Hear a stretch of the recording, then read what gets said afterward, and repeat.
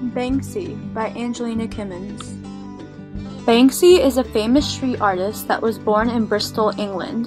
He is anonymous and wishes to remain unknown, and he is considered a vandal, a political activist, and a film director. And he's been active since the 1990s. Banksy was influenced by a few people. Some are Marcel Duchamp, Diana, Princess of Wales, and Kathy Kollwitz.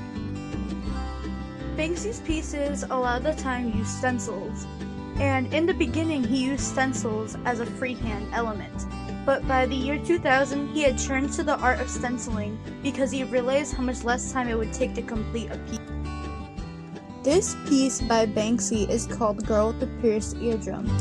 It was recently altered to depict what is happening in the world today. A face mask was added to his piece to show the effects of the coronavirus. Banksy has recently joked about how his wife hates when he works from home.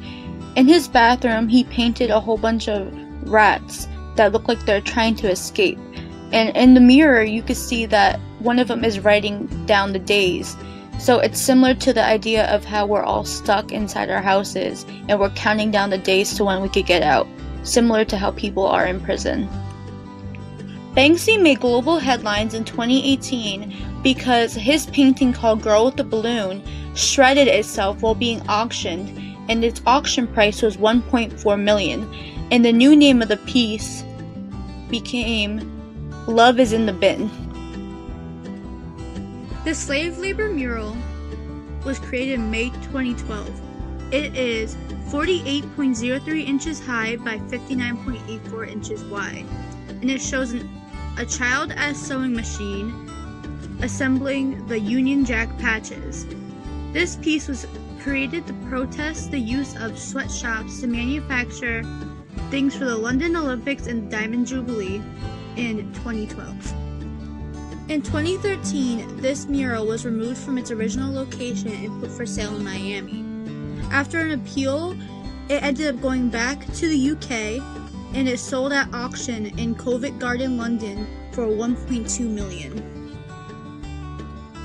In 2015, Banksy used Steve Jobs as a subject of one of his pieces to highlight the refugee crisis.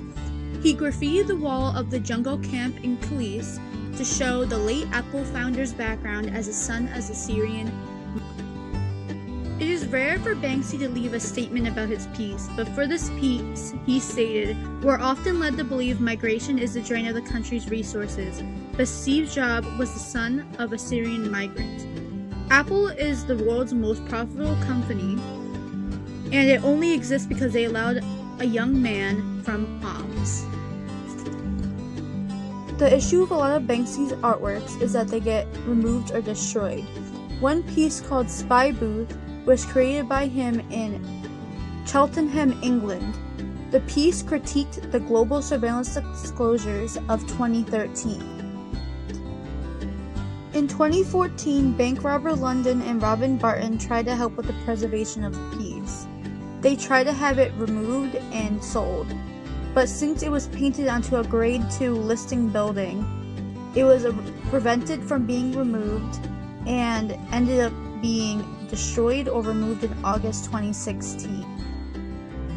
Another one of Banksy's works that no longer exists because it was covered is called The Gorilla in the Pink Mask. It was painted on the side of a Muslim cultural center in Bristol. This was one of Banksy's early artworks, and the removal of it angered a lot of people Saeed Ahmad stated that he didn't know it, the importance of the piece and thought it was just another piece of graffiti on a wall. Another well known artwork by Banksy is called Love is in the Air, also known as Flower Thrower and The Masked Thug. It was first executed in Jerusalem in 2003. This piece is thought to be a contemporary update of a classic image from 1967 called Flower Power, which showed protesters that stuffed tiny flowers into soldiers' gun barrels. This piece, made by Banksy, is one of his many artworks that show the favor of Palestinian rights. Banksy's artworks are so popular because of the fact that he's not afraid to show what's wrong in the world. His works bring attention to things that need to be fixed and that he thinks are not right, such as child labor and war.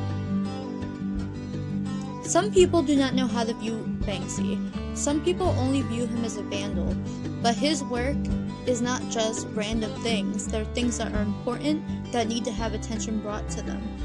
His work has meaning and it is to help people.